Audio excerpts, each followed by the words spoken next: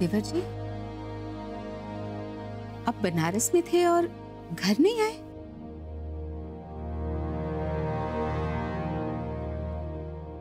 मतलब आपने हमें पराया कर दिया? शुक्र है कि तुम आ तो गए।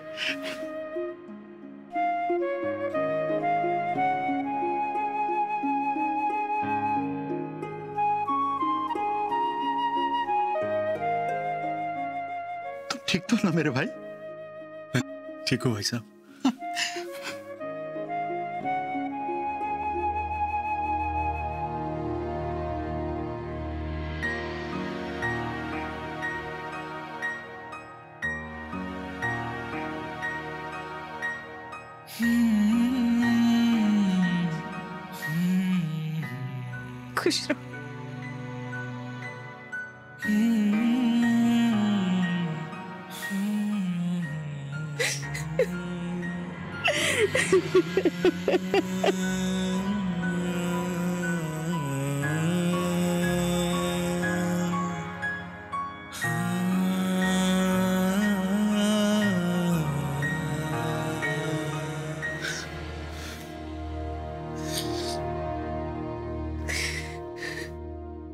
गलती हमसे हुई। लेकिन तुम तो हमसे बिना लड़े चले गए।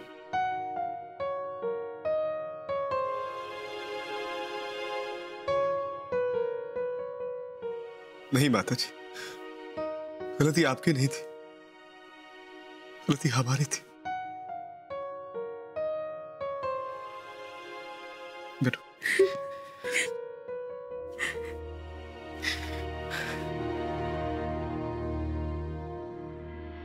हमें स्वार्थी बन गए थे।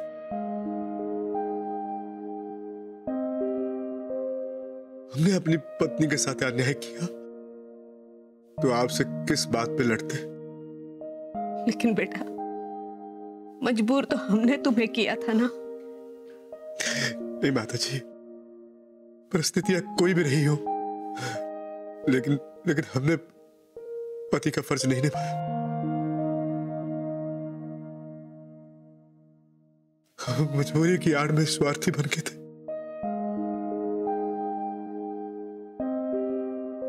हमने अपनी पत्नी के बारे में नहीं सोचा, बल्कि इस घर के मान सम्मान के बारे में सोचते रहे।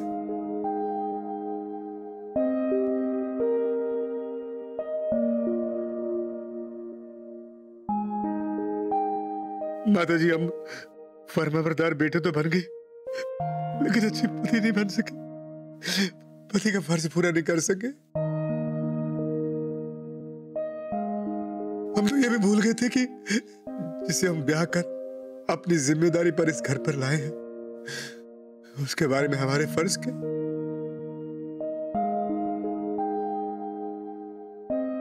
हमने कुसुम लता को यहाँ से जाने के लिए क्या दिया कि वो अपने मायके जाकर रहे।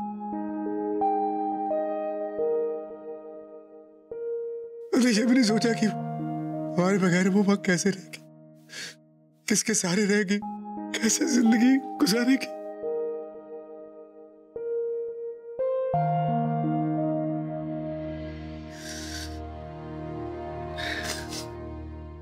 माता जी हम हम नालायक हैं। हम नालायक हैं माता जी जब हमने आपसे पूछकर शादी नहीं की थी तो आपके कहने पर कुसुमलता को क्यों निकाल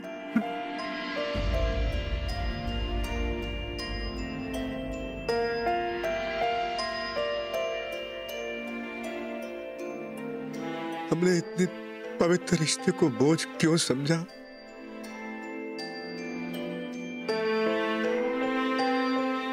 क्यों ऐसे रिश्ते का अपमान किया हमने माता क्यों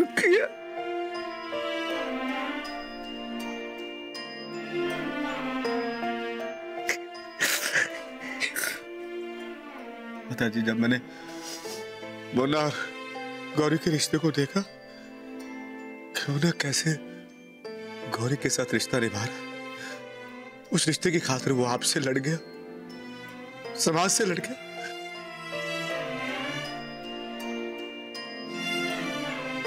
वो बहुत शर्मिंदा हमें अपने आप पर शर्मिंदगी महसूस हुई कि हम तो पति कहलाने के लायक ही नहीं।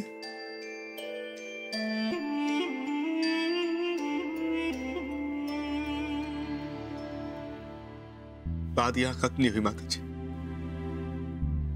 बात आगे बढ़ी। समाज क्या कहेगा? लोग क्या कहेंगे? आपका किसी का दिल ना दुखे। बस यही सोचकर हमने अपने आप को अखाड़े में झोंक दिया।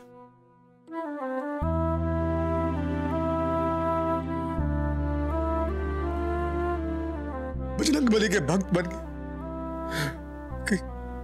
शायद हमारे पाप धुल जाएँगे।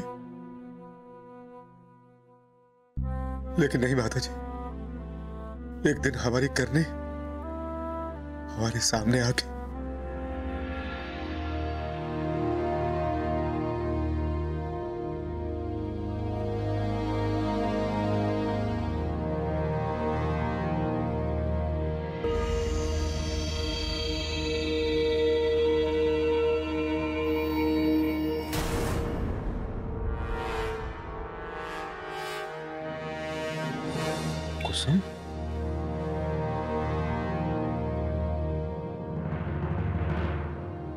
कहाँ रह गई ये लड़की?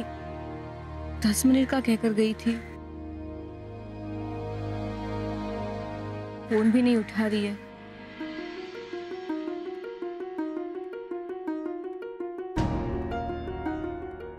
इतने सालों बाद कुसुम यहाँ क्या कर रही है? क्या करूँ? इससे बात करूँ या नहीं? और मैंने इससे बात की और इसने मुझसे बात ना की तो? माथे में सिंदूर भी है। गले में मंगलसूत्र भी कहीं इसने दूसरी शादी तो नहीं कर ली?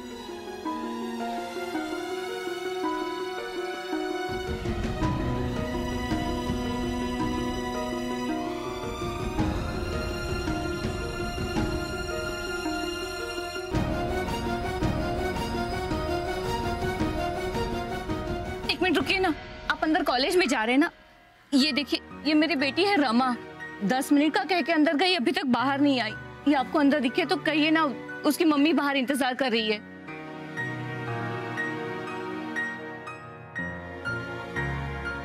ये तुम्हारी बेटी है?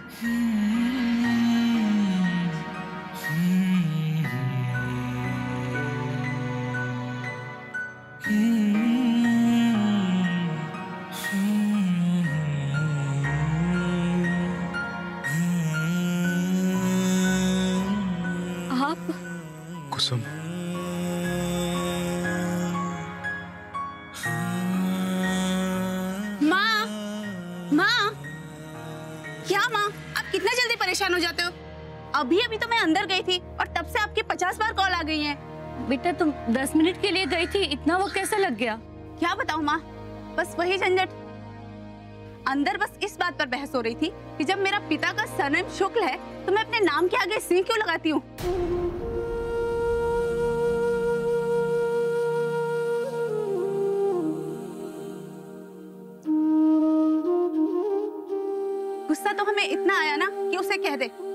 इंसान ने कभी हमें पलट कर नहीं देखा, हमारी खैर खबर नहीं ली, उसके नाम के आगे हम अपना नाम क्यों जोड़े?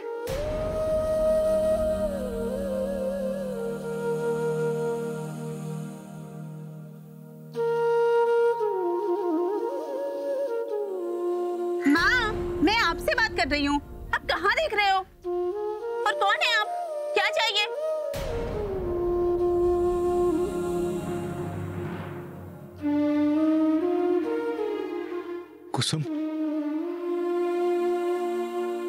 ये हमारी बेटी है।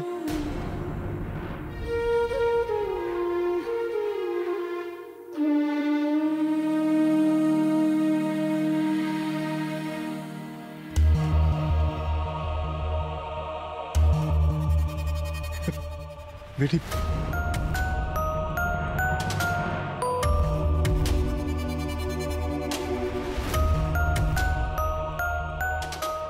माफ़ कीजिएगा श्रीमान शुक्ल जी। मगर हम आपकी नहीं, मिस कुसुम की बेटी हैं। और हमारा नाम रमा कुसुम सिंह है।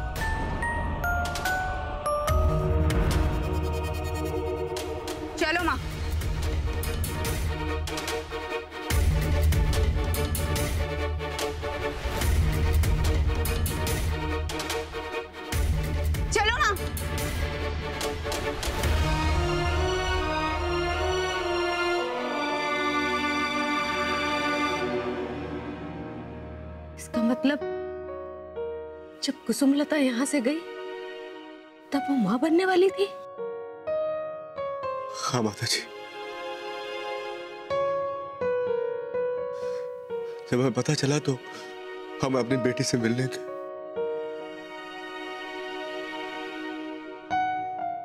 हम उसे पाना चाहते थे, उसे मिलना चाहते थे। लेकिन उसने उसने भरे चौराहे पर हमें तुतकार थी।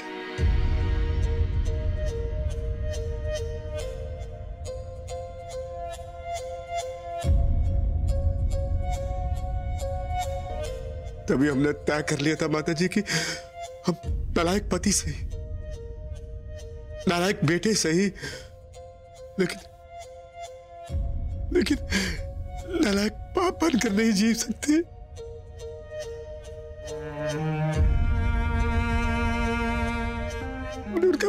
किया? उनके गाँव पहुँचे। उनके माँ बाप से हाथ जोड़कर माफ़ी मांगी। और वहीं पर एक छोटी सी गृहस्थी बसा ली हमने। कुसुम लता ने तो हमें अपना लिया माता जी लेकिन रमा ने नहीं बनाया। उसने कहा कि तुम मेरी माँ के पति बनकर तो रह सकते हो। लेकिन मेरे बाप ने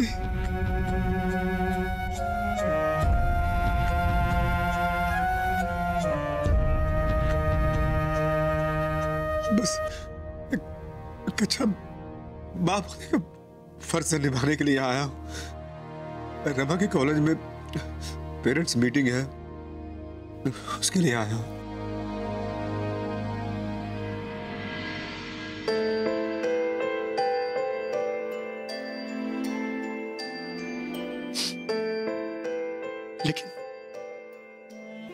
सब तुमने अकेले क्यों किया मेरे भाई?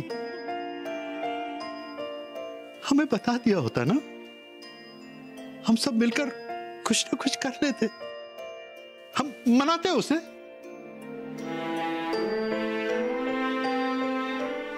माफ़ कीजिएगा भाई साहब।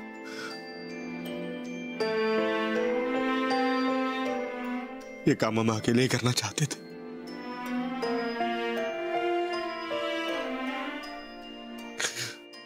हम अपनी बेटी का विश्वास, उसका दिल,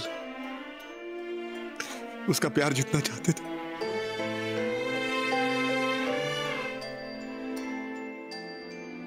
हमने सोचा कि उसके बाद हम आप सबको बता देंगे।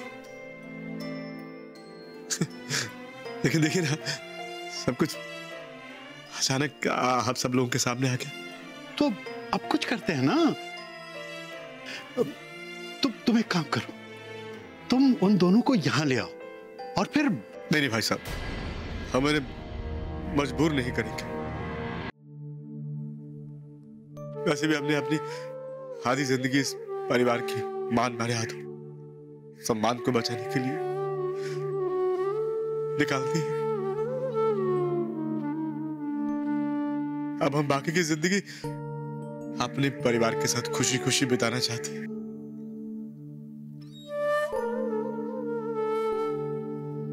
और भाई साहब अब आप लोग हमसे दूरी ही बनाए रखिए। इसी में इसी में हम, हम सबकी भलाई।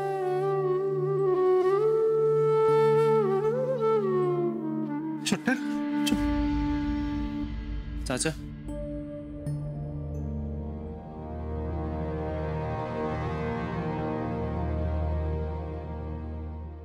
इस फैसले में हम आपके साथ हैं।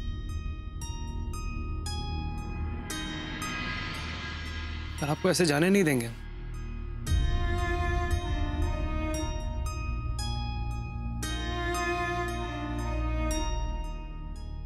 आपको हमारे साथ अंदर चल के गौरी जी और हमारे होने वाले बच्चे को आशीर्वाद देना होगा। फिर चाहे तो चले जाना आप। तू बाप बनने वाला है। आप दादा बनने वाले हैं चाचा।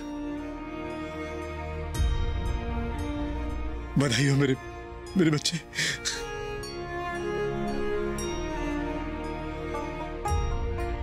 चले अंदर। ये को पूछने के बाद। चल।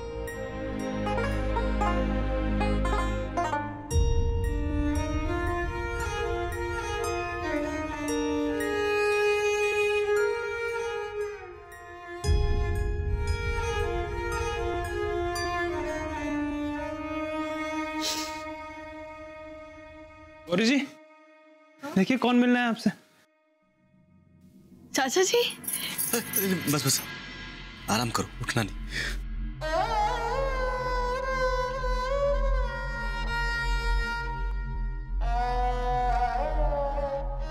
कैसी हो? मैं ठीक हूँ आ- आप बैठिए ना। हाँ। चाचा बैठे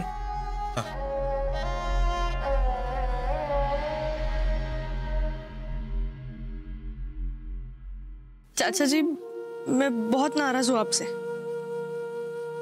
कहा थे आप इतने दिन? हमारी याद भी नहीं आई। कैसी बात करती हो बेटिया? आप दोनों को मैं कैसे भूल सकता हूँ? बहुत याद आती थी। लेकिन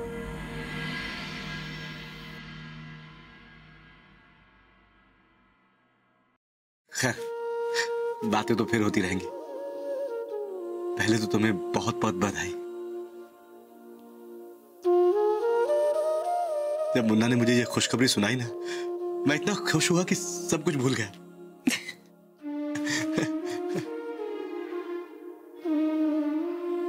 अब तो एक ही प्रार्थना है। परमात्मा तुम्हें और तुम्हारे होने वाले बच्चे को स्वस्थ रखे। खुश रखे। जब बच्चे का जन्म होगा ना तो मुझे खबर ज़रूर करना। हम सब हम सब मिलकर जश्न मनाएँगे।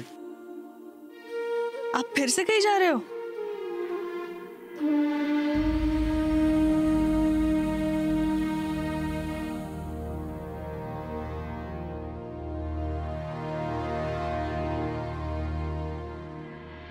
चाचा जी, अब आप कहीं नहीं जाओगे। और हाँ आपके ये जो कुश्ती दंगल है ना, सब बंद। अब यही रहो, हमारे साथ। क्या हुआ? आप दोनों कुछ बोल क्यों नहीं रहे हो?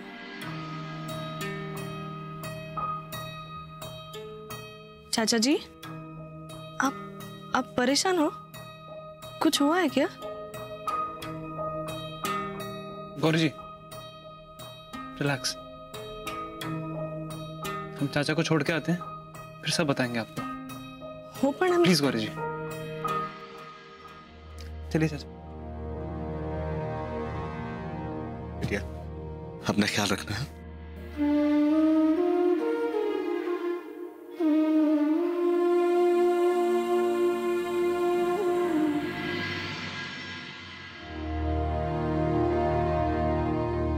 हैसर में होतंय ना तर ती का ती खोटी व्रता सांगितली ना. चिकार बोलली चंडिकेचा अवतार केला तिने.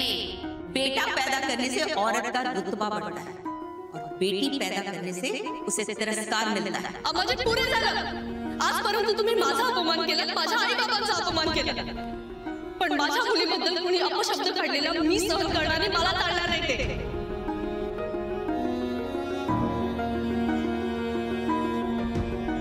अरे तू आणि जावई बापू आज झोपा नशी आणि मी आहे तर बाहेर झोपू हा?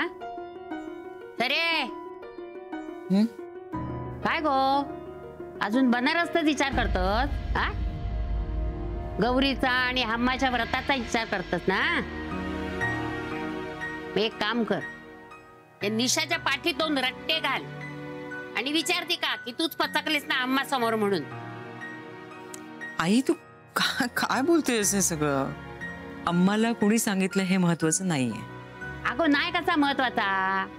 आम्हाला जर का कळलं नसताना तर ह्या सगळं झालंच नसतं ना? खोटं कधी लपून राहतं का? हा? कधी ना कधी अम्मांना ते सगळं कळलंच असतं की नाही? तू जे नाटक केलंस ना ते फार चुकीचं होतं. सगळी चूक तुझी. हा. म्हणजे काय म्हणतात तशा ग? चोर सोडून संन्यासाला फाशी. सरे अगो तुझ्या भोळेपणाचा फायदा घेता ती. हे बघ तो भोळेपणा ना मूर्खपणा होऊ देऊ नकोस. अगो तिनाच चुगली लावली की मी ती का हम्मा खोटी व्रता करूक सांगितली म्हणून. आम्हाला कळलं?